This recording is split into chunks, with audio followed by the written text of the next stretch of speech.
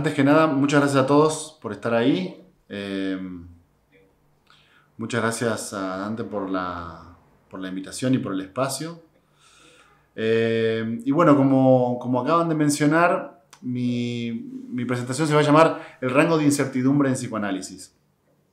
Eh, bueno, como quizás muchos de ustedes saben, yo tengo un canal de YouTube, ¿no? En el que hablo de psicoanálisis y además me dedico, como acaba de, presentarme Dante, a dar clases y conferencias también sobre psicoanálisis. Si yo tuviera que decirles cuál es eh, la frase crítica que más escucho sobre psicoanálisis, es precisamente que no es una ciencia porque no es exacta. ¿no? Y porque su objeto de estudio no se puede medir, ni pesar, ni observar. Esto es absolutamente cierto. Eh, el problema es que no hay nada que se pueda medir ni pesar. También en los agradecimientos, antes de arrancar, quiero agradecerle a Sebastián Martínez, que es realmente el que conoce sobre el tema y que me ayudó un poco a, introducirnos en esto que vamos a hablar hoy, que es la metrología. ¿sí?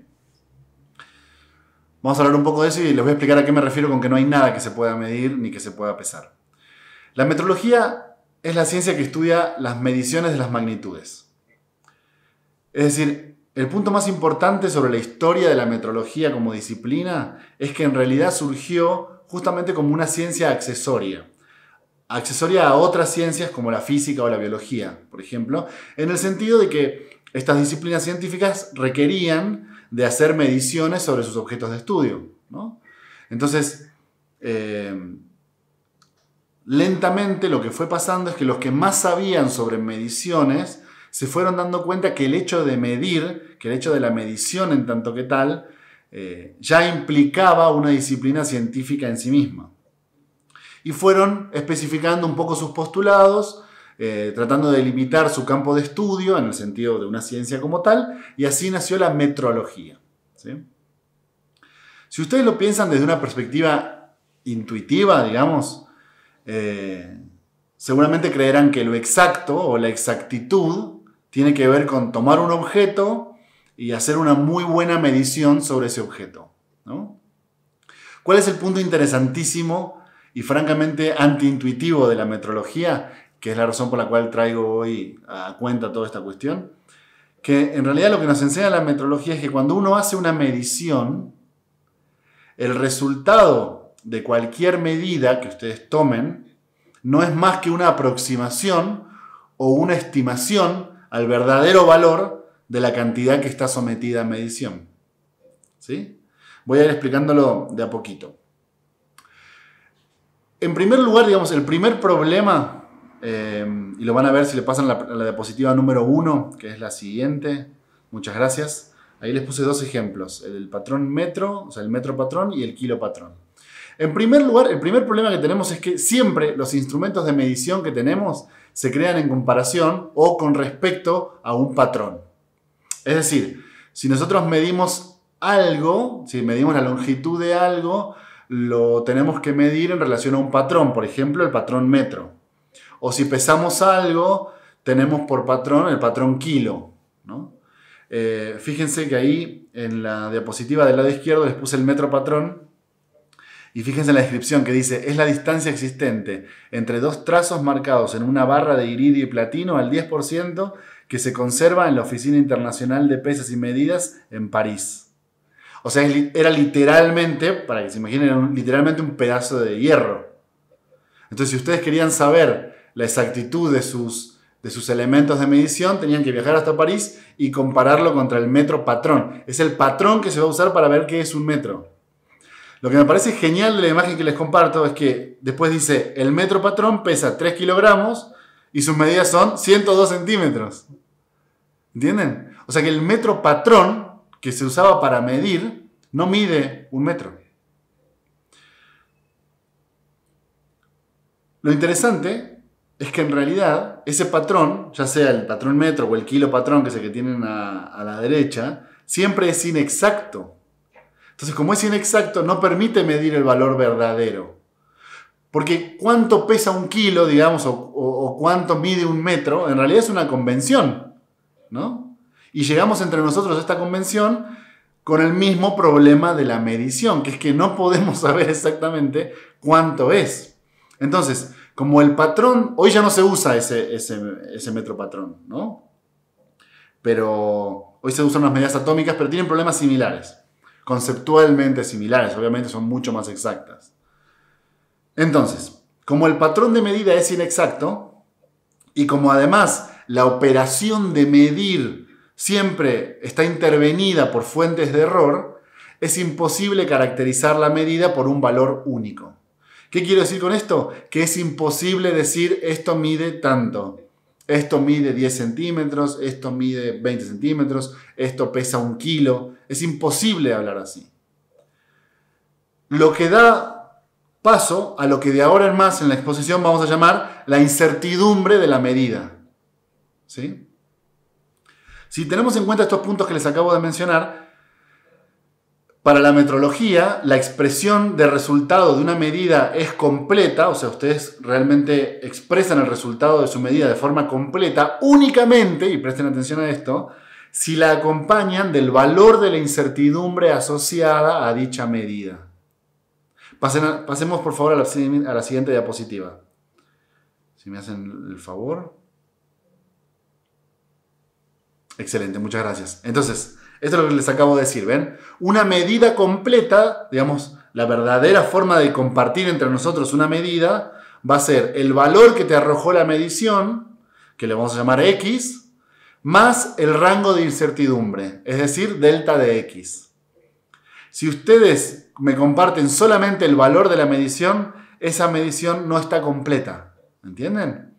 Tienen que agregarle siempre el rango de incertidumbre asociada a la medición que hicieron. Entonces sería x más delta de x, ¿no? lo interesante de la incertidumbre, digamos, para que me sigan en esta lógica, si podemos pasar a la siguiente diapositiva, por favor, es que la incertidumbre eh, es una información numérica que lo que hace es completar el resultado de la medida, indicando cuánto es la duda que yo tengo acerca de ese resultado. ¿Entienden?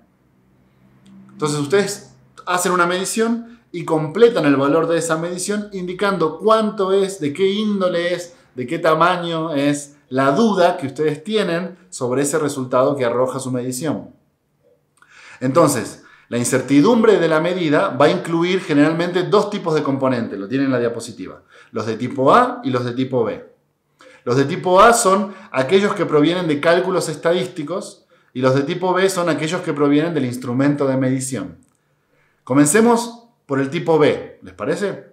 Si tienen alguna duda, pregunta, me interrumpen, ¿eh? no, hace falta que esperen hasta el final. Comencemos por eh, los de tipo B. Lo que esto nos enseña básicamente es que nuestro instrumento de medición ya condiciona en sí mismo la exactitud de la medición. Supongamos que, pasemos a la siguiente diapositiva, por favor. Supongamos que quiero medir una hoja de papel de aproximadamente 5 centímetros, ¿no? Imagínense que ustedes quieren medir una hoja de papel de 5 centímetros y tienen una regla de 10 centímetros. Bueno, esa regla va a ser suficiente para que ustedes midan esa hoja. Ahí ponen, ponen la hoja, le ponen la regla y dicen, bueno, esta, esta, esta hoja mide 5 centímetros. Lo interesante de la regla, como la que le puse en las diapositivas, es que el grado de exactitud máximo que tiene esta regla es de un milímetro. ¿Ven? Adentro de cada centímetro tienen establecidos los milímetros. Es decir, el milímetro es la unidad mínima en la que está dividida mi regla. Supongamos ahora que yo quiero medir un trozo de papel que mide 5,33 centímetros. ¿no? 5,33. Esta misma regla no me va a ser útil para medir. Voy a tener que buscar otro instrumento de medición. Porque si la hoja de papel que quiero medir mide 5,33, ese 0,03, digamos, esos milímetros no van, a no van a estar siendo tenidos en cuenta por la medición de mi regla. Porque tu unidad exacta es mayor. Solamente pueden medir centímetros y milímetros.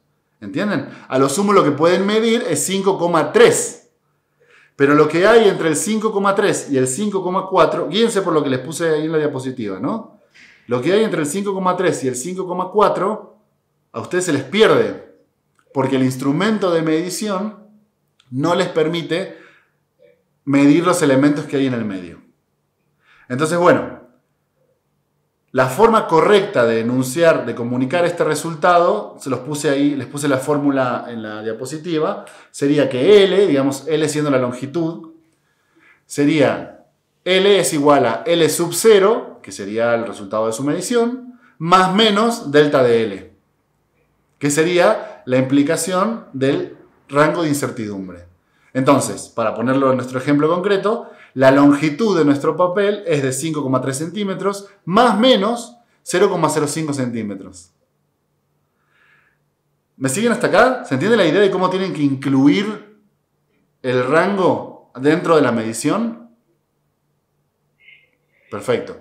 Si, yo solamente les digo, este papel mide 5,3, es, es inexacto lo que les estoy diciendo. La exactitud implica incluir el rango de incertidumbre en su medida. Entonces, L es igual a 5,3 centímetros más menos 0,05. Obviamente, me dirán ustedes, que si quieren hacer mediciones más finas, no van a usar una regla. O sea, que si quieren hacer mediciones mucho más finas, van a tener instrumentos mucho más exactos, como por ejemplo, no sé, un microscopio electrónico.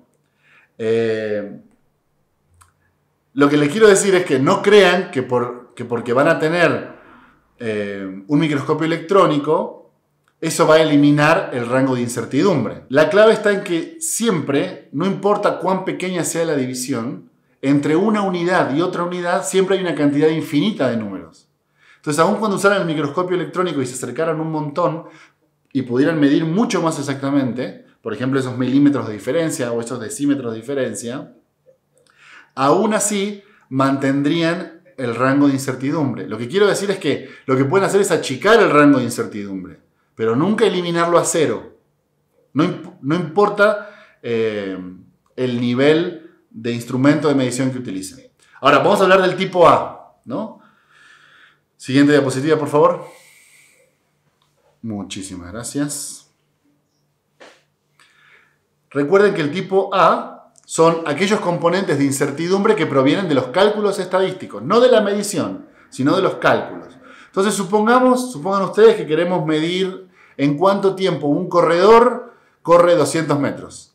¿Cuánto tiempo Usain Bolt corre los 200 metros? ¿Qué vamos a hacer? Vamos a tomar un cronómetro y lo vamos a poner al tipo de correr, ¿no? Entonces, imaginen que en el primer intento tarda, como les puse ahí en la tabla, 20,15 segundos. Ustedes lo cronometran, anotan la muestra y toman otra muestra. Dicen, bueno, a ver, corre de nuevo. Vuelve a correr un segundo intento y ahora tarda 20,19 segundos. La forma correcta de tener una buena medición sería tomar varias muestras y hacer un promedio. Les quedaría una tabla como la que les comparto. ¿Ven? Tiempo 1, tiempo 2, tiempo 3, tiempo 4. El tiempo 1, 20,15. El 2, 20,19. El tiempo 3, el tipo se relajó y corrió 21 segundos. Por, eso el, el, 4 aceleró y solamente hizo 20.04. Y el último, el tiempo 5, 20,15 segundos. Si ustedes les preguntaran generalmente cuánto tiempo corre Usain Bolt eh, los 200 metros, hacen un promedio y le dicen, por ejemplo, en este caso sería 20,30 segundos. ¿Por qué les digo esto? Porque más allá del rango de incertidumbre que genera nuestro instrumento, que sería el cronómetro, tenemos la incertidumbre que se produce por la toma de las múltiples muestras. ¿Cómo calculamos la incertidumbre que surge por la, cantidad de distintas muestras que tenemos? Bueno, ahí les puse la fórmula. Lo que tienen que hacer es sacar el desvío estándar y el desvío estándar ponerlo sobre la raíz de n, que n sería la cantidad de muestras. Esto es muy importante porque, obviamente, ustedes ya se han dado cuenta, es muy importante tener la mayor cantidad de muestras, porque así logran disminuir el valor de la incertidumbre al menor número posible. Es más, fíjense en la fórmula.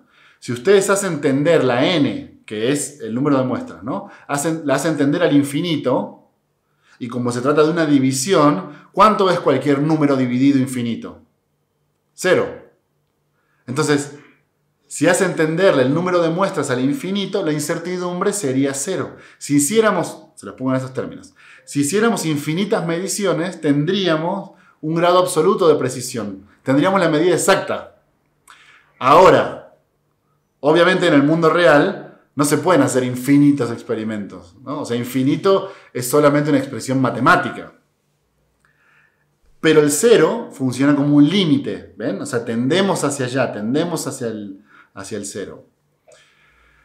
Pero bueno, como solamente funciona como límite y como en realidad infinitos experimentos no se puede, no, puede, no podemos hacer correr a Usain Bolt infinitas vueltas. Entonces la incertidumbre nunca va a llegar a ser cero. ¿Qué quiero decirles con esto? Y ahora pasamos a lo que es realmente importante en nuestra práctica. Que obviamente cuando ustedes quieren hacer una medición, van a querer tener el instrumento más exacto posible, o sea, el mejor cronómetro del mundo o el mejor microscopio del mundo, y además van a querer tener la mayor cantidad de muestras posibles, porque entre una combinación de los dos lo que van a hacer es disminuir lo más que puedan el rango de incertidumbre. Pero aún así, aún cuando tuvieran el mejor instrumento y cuando tuvieran la mayor cantidad de muestras que pueden medir en su vida aún así nunca, nunca van a poder medir algo realmente con absoluta precisión. Por eso, lo que yo quiero decirles en este sentido es que las críticas que recibo constantemente sobre que el psicoanálisis no es una disciplina porque no puede medir, porque no puede tocar y porque no puede pesar su objeto de estudio, es una idea bastante engañosa. Porque nunca medimos lo que estamos midiendo. ¿Entienden? Siempre el número que se nos presenta como medición, la medición, en realidad es una abstracción de un valor que es incalculable en realidad. Es decir, para ponerlo en términos muy, muy concretos, nunca operamos con un valor certero. Siempre operamos con una aproximación. Por eso cuando compartamos entre nosotros, supongamos que nosotros queremos compartir una medición, la tenemos que compartir con el rango de incertidumbre calculado. ¿Sí? Esto es súper importante, porque es cierto que nuestro objeto de estudio no es un objeto fáctico situado en el mundo, es verdad, pero el de cualquier otra disciplina tampoco, ni siquiera una disciplina tan seria como la física. ¿no? ¿Por qué? Porque la única ciencia exacta es la matemática. Pero esa ciencia es puramente ideal. Siempre que ustedes quieran usar la matemática para medir cosas del mundo, estarán operando sobre aproximaciones. ¿Sí? Nunca medimos, a ver, lo pongo en estos términos a ver si se entiende. Nunca medimos nada del mundo. Incluso el objeto que creemos medir es una abstracción del objeto. Y esa medida es una aproximación cada vez lo más certera posible, obviamente. No es, que, no es que ustedes sean tontos, ustedes tratan de disminuir el rango lo menor, lo, más que puedan. O sea que una aproximación a un valor lo más cercana posible, pero ese valor en realidad, quiero que lo analicen en un sentido filosófico, ese valor es imposible de calcular. No hay realmente una disciplina empírica que opere exactamente. Digamos, la exactitud en este sentido se la dejamos únicamente a las matemáticas. En, las disciplinas que operamos sobre el mundo, digamos, que, que analizamos cosas del mundo, cosas que se ven en el mundo, exactitud, o por ejemplo, otra cosa que escucho constantemente, seguramente ustedes también, ¿no? Objetividad, ¿no? Exactitud y objetividad significa, basándonos fuertemente en esta idea de la metrología, únicamente el valor aproximado más el cálculo de la incertidumbre.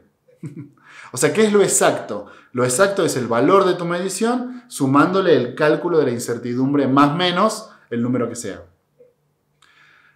Para ponérselos en términos muy sencillos. Objetividad o exactitud significa lo que yo creo que sé sumándole lo que no puedo saber. Es una genialidad, ¿entienden? Lo que yo creo que sé sobre un objeto más lo que sé que no puedo saber. Eso es objetividad, eso es exactitud. ¿sí? ¿Por qué es importante para nosotros clínicamente esto? Porque tenemos que calcular también en nuestra propia disciplina, que cualquier intervención nuestra, ya sea en la física, en la, metrología o incluso en la nuestra, en el psicoanálisis, cualquier intervención nuestra implica un rango de incertidumbre. Entonces, seguir creyendo que hay otras disciplinas que son exactas y la nuestra no es exacta, es cometer un error filosófico grave, ¿entienden? Exactitud significa todo lo que yo puedo saber sobre algo, más el cálculo de lo que sé que no puedo saber. Entonces cualquier intervención nuestra en psicoanálisis funciona igual. Tomemos la forma de lo que nosotros expresamos sobre un paciente, sobre un sueño, sobre una idea, sobre un concepto, y a eso entendamos que tenemos que aplicarle un cierto rango de incertidumbre, que implica que hay algo de ese objeto que es incognoscible porque nuestras formas de medición no lo logran abarcar. Tenemos que tener en cuenta que en psicoanálisis también tenemos un rango de incertidumbre. Bueno, hasta acá mi exposición.